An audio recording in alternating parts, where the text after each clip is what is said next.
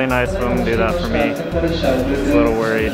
But yeah, my CF card's pretty much full on my camera. I don't think I've taken that many photos in quite a while. It's probably going to be a while to edit them, but it's great for memories.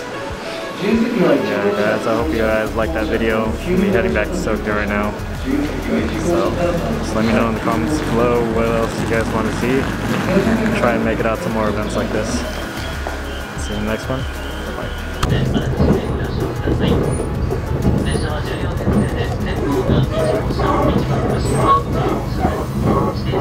Bye.